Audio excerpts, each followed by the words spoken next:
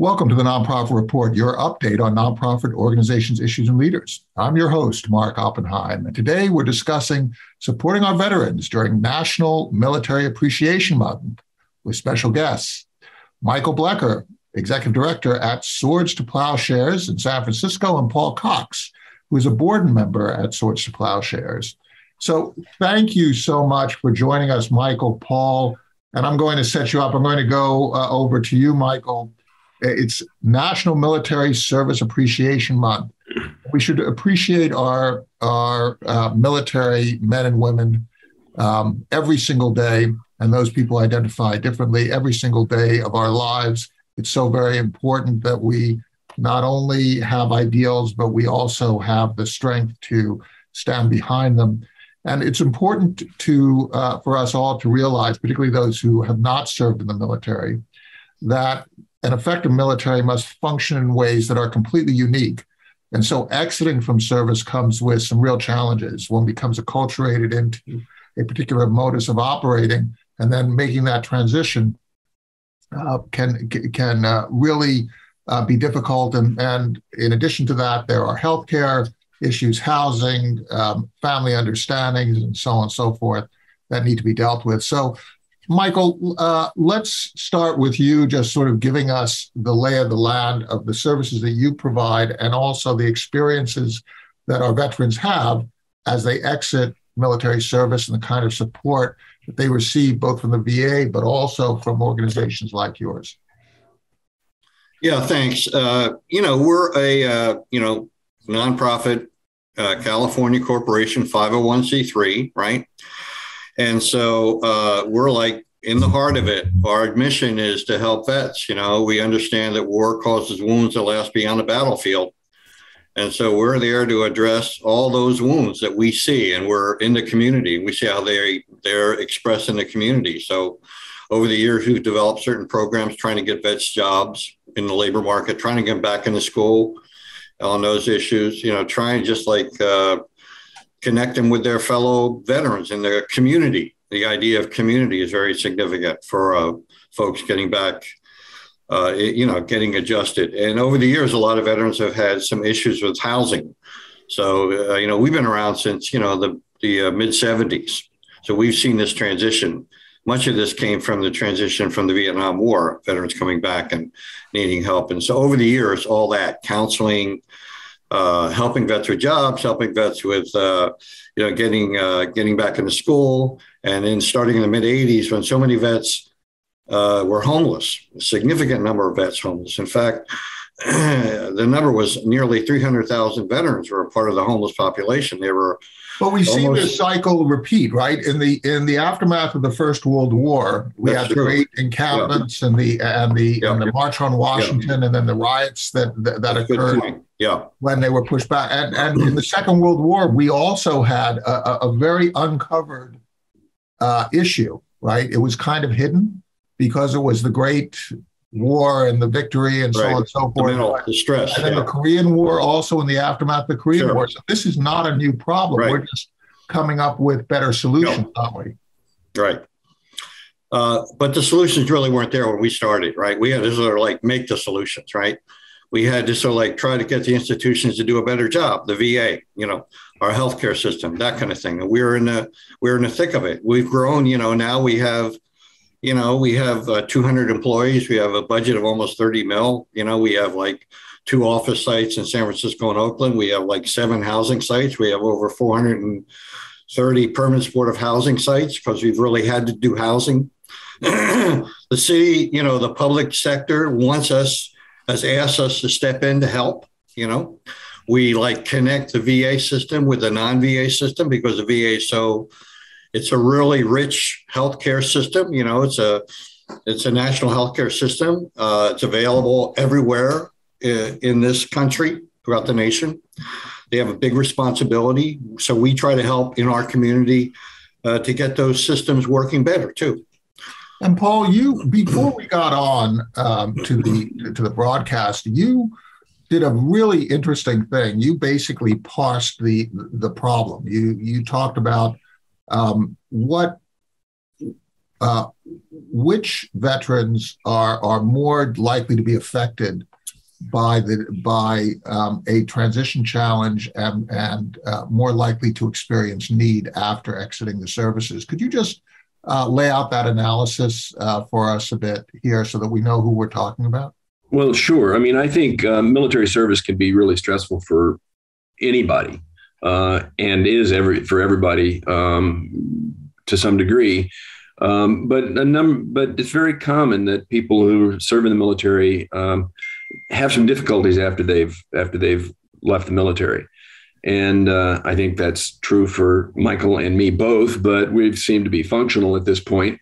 But some people just never sort of get over that period, uh, especially combat veterans, but also people who've experienced um, abuse in the military, military sexual trauma, um, but and then injuries and PTSD and TBI. There's all kinds of things that can go wrong. Training accidents can be very devastating. What is TBI? Uh, I'm sorry, a traumatic brain injury, which seems to be the um, signature injury of this war that was not recognized in previous wars. Shell shock was sometimes, probably very often, was caused by um, brain injuries, um, but it wasn't recognized as such. It was just recognized as somebody who's just seen too much war. Um, but it may have very well been a physical injury.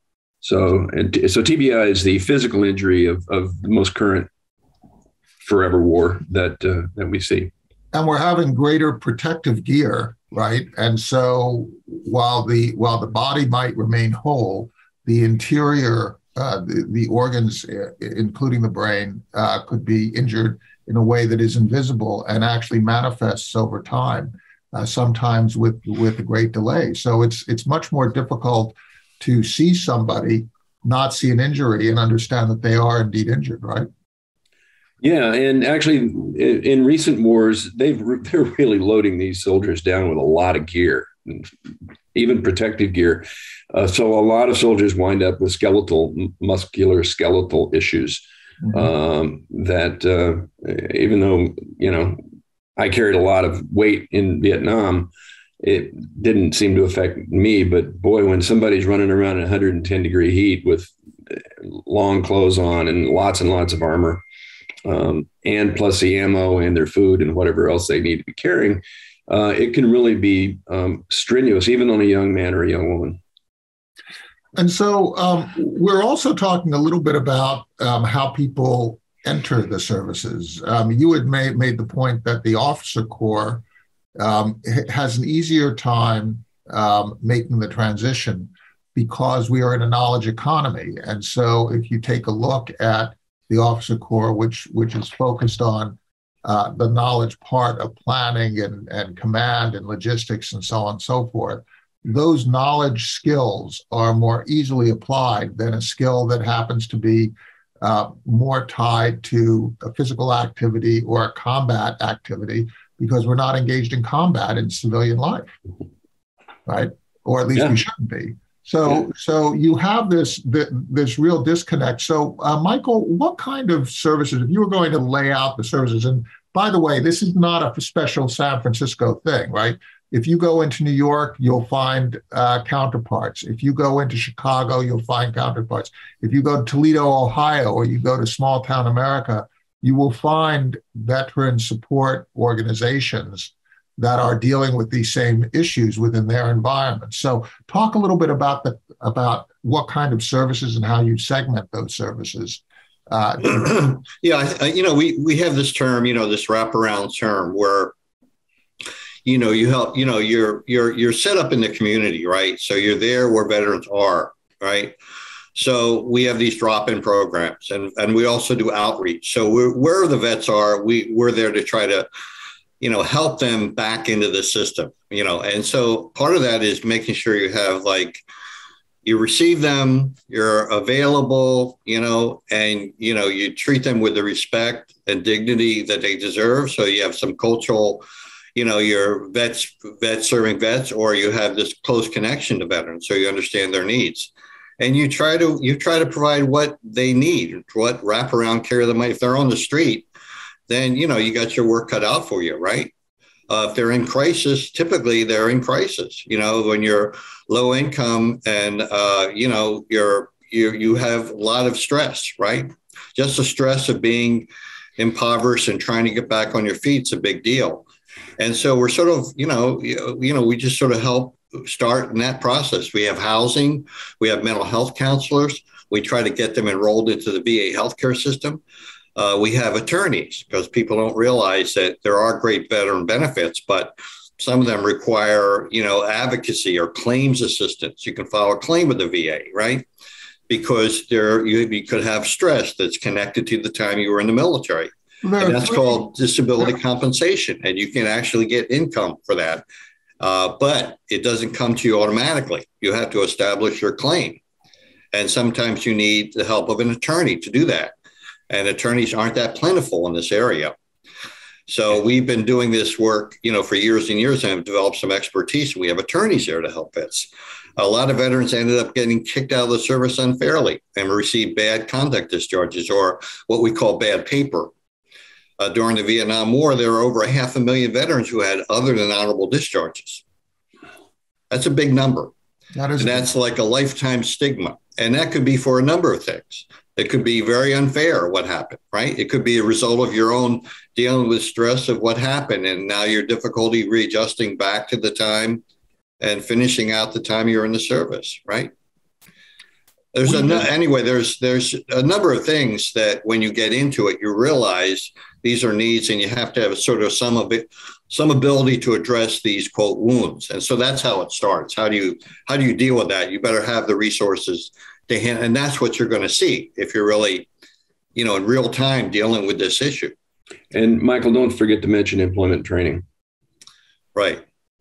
So we we find employment for veterans. We help prepare them for for um, interviews and for um, for employment, and that's that's a that's a key thing for a lot of veterans is they just they don't know how to do a resume. They don't know how to to conduct themselves in an interview, and uh, we've helped many thousands of veterans get jobs, good and often really really good jobs.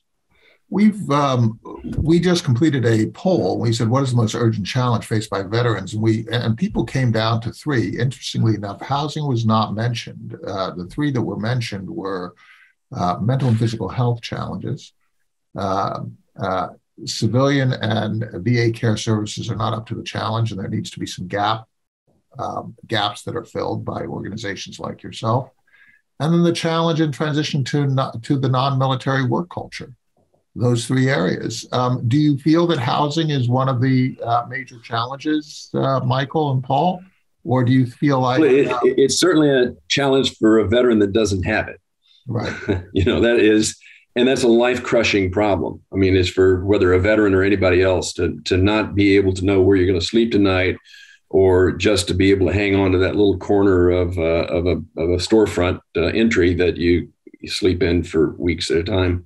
Um, is so debilitating, and uh, and, and it's so it's really key um, for a small segment of the veterans population, but not insignificant. I think actually I would I would pick some different things for the the major challenges. I think that one of the challenges is, is aging Vietnam veterans and younger veterans. I mean, some some people that are Persian Gulf veterans are in their 60s, you know. Um, and and the health problems that come with that, and the VA's the, the need for the VA to make adjustments. Uh, and they are talking about uh, opening up new nursing facilities for really elderly veterans. The second one is younger veterans are often walking around with hidden injuries, as I mentioned before, TBI, PTSD, moral injury, um, MST, military sexual trauma, and, and the like. And the third thing I think is is an effort. It's a political problem, which is the private the, really push to privatize the VA, uh, which is an amazing system. It's got its problems, and everybody's got complaints about how they their services at the VA were. But it but the solution to that is not to push veterans who need specialized care into um, into the strip mall um, medical centers that don't know anything about them, don't keep a history of them um, don't understand what the special needs that veterans have. and are sometimes you know, Paul. There's gold in them there hills, right? Um, so you know what privatization is about. it, absolutely, it's about let's get some of that money that the VA normally gets, and it's going to strip. It's going to really strip the meat off the VA and leave a skeleton that's really just a payer if if it goes to the full um, effort that they're trying to that people some people are trying to put into it. Yeah, I don't understand the, logic behind taking um, a, a private health health system, an insurance system that, by all accounts, from all across the political spectrum, doesn't work particularly well in the United States uh, in comparison to uh, our colleagues in the G7, um, you know, uh, uh, developed countries, um, and then expand that that dysfunctional system into an area um, of of uh, where where the VA, as you say, for all of its faults, um, is doing a heroic job. Those people who are serving the VA, who often themselves are veterans, um, are, are, are really um, managing a, a, a, huge system. And then, then you're providing some complementary areas. Could you talk a little bit about why a nonprofit can sometimes be much more nimble, much more responsive than a than the VA, right? Because in a sense, you're you're working against time, right? If somebody's homeless, Paul, that night is the most important night of their life, mm-hmm. right? And then the next night will be the most important night of their lives. And so you're working against time. So sometimes, Michael, as you say, you can't necessarily go through the attorneys and the the applications and so on. Talk a little bit about how you gap fill um, where there where time is of essence and you need to be more nimble. Yeah, it's almost like you're triaging, right? Like a medic, you're seeing the most wounded and you're tending to that need first before you get to the next and the next. So when you're in a community, that's what you're dealing with. You're dealing with people on the street who are in crisis and you're trying to get them off the street to get them sheltered and then once you, you know, because you can't really do anything if they're unhoused, right? They're going to continue to suffer. Crisis. Crisis is when you don't know where to turn. That's crisis, right? You no. it could be it could have any source, but you right. just don't know where to turn. That's yeah. what a crisis is. Or and the stress it generates, right? You get under tremendous stress, mental health stress, and which you know has a debilitating effect on your overall health. You know, you carry that stress around, and and you know we see veterans who are who have health issues uh, that are uh, typically in someone 20 years older than themselves, right? Almost every veteran uh, that's in our housing program has multiple health care issues. They're in physical pain, but they also have issues with, you know, advanced respiratory problems. They have you know, it's uh, diabetes, you know, up and down, and as well as depression, and so there's multiple issues, right, that they're dealing with. And so, um, I think a nonprofit is nimble, is can do that, and and the thing about what we can do is sometimes is we are we're out there, and we can. Uh, you know we can we can identify the gaps and say you know the the institution has to do a better job in this area and and pull those two the the non VA and the VA because you know it's it's a you know the problems are immense and the resources are strained. So yeah, so one like, is a, one is a system, right? You have to you have to treat people as the as cohorts as a member of a cohort, right? You have to go right. through a workflow and so on and so forth, and you get to actually look at somebody as an individual, right? That's true. I mean, that's the nonprofit. Yeah, that's that's what you do, one person at a time, right?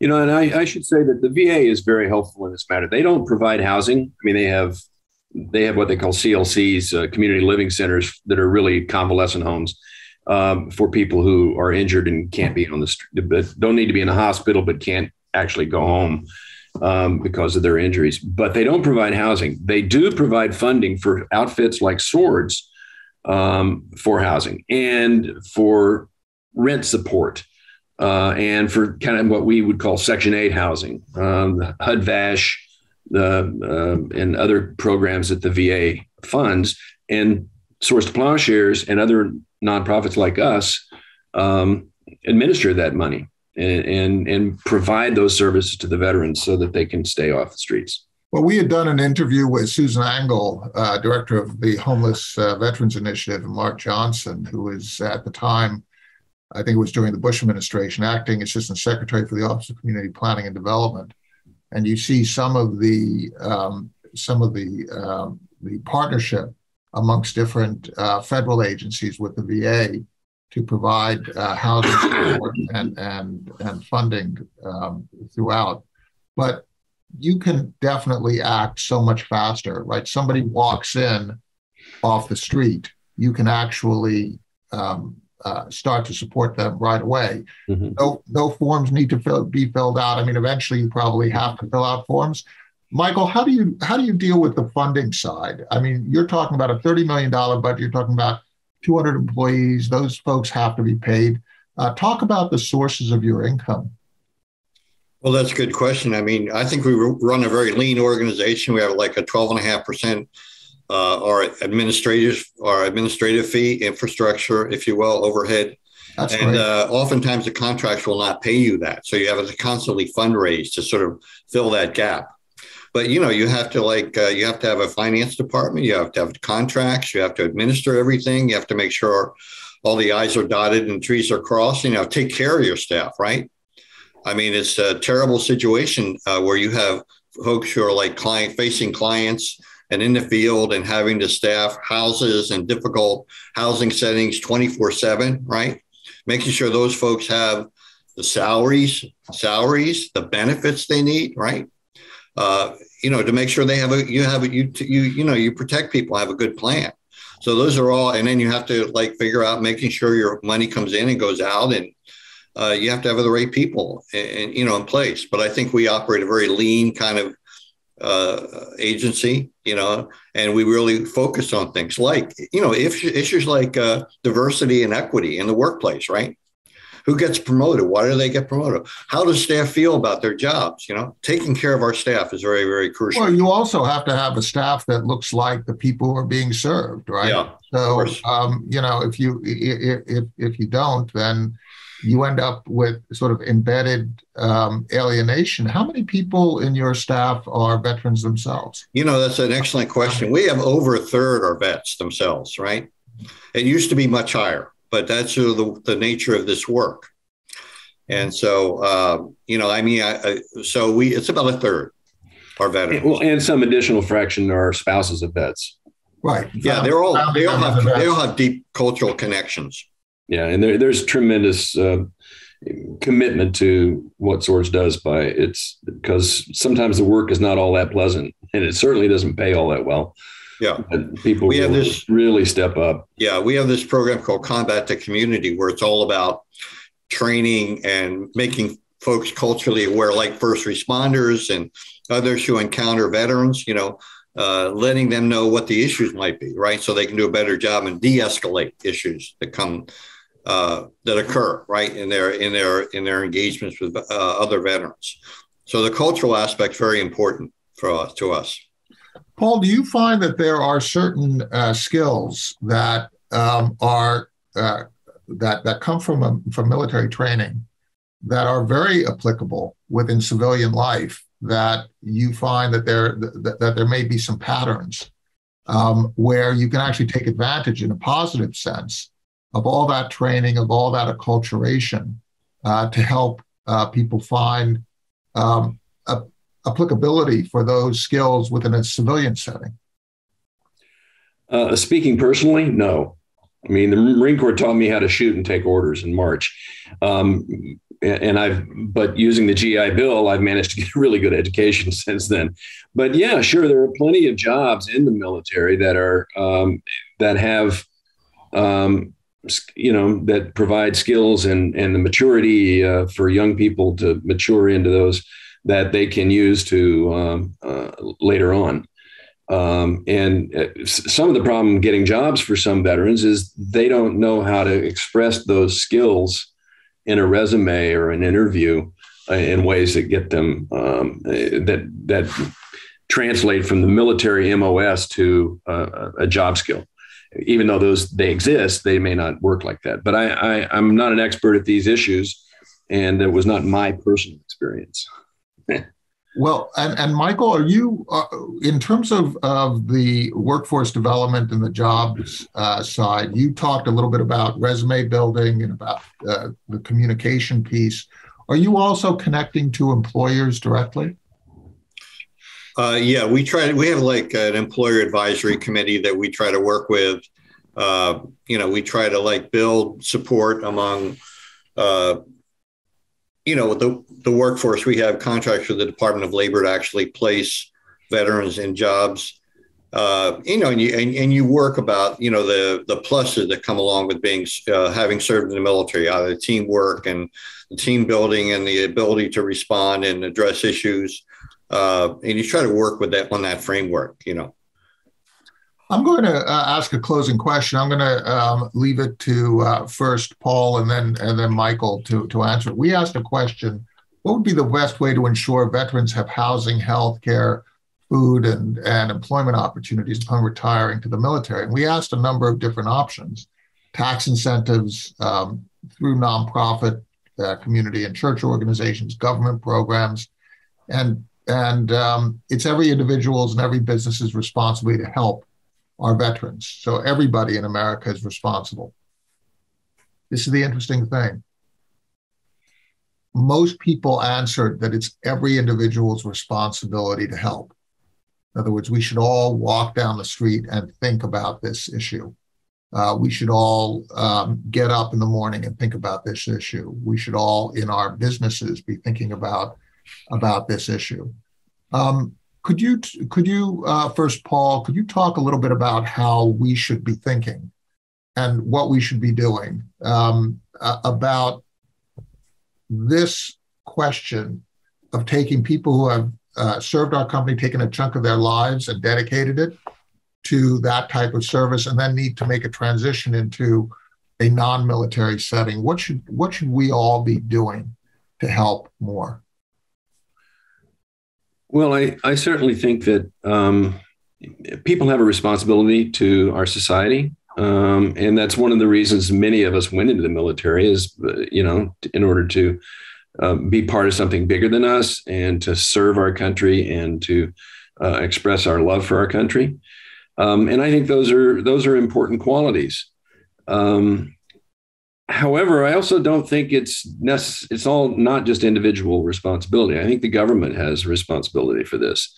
Uh, if we're going to send young men and women off to war, we damn well need to take care of them when they come back.